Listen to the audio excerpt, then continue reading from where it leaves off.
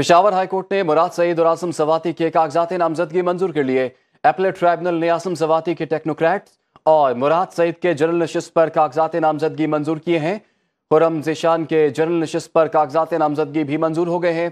Peshawar high court ने महफूज फैसला सुना दिया है। पेशावर हाईकोर्ट ने मुराद सईद और आज़म सवाती के कागजात नामजदगी मंजूर कर लिए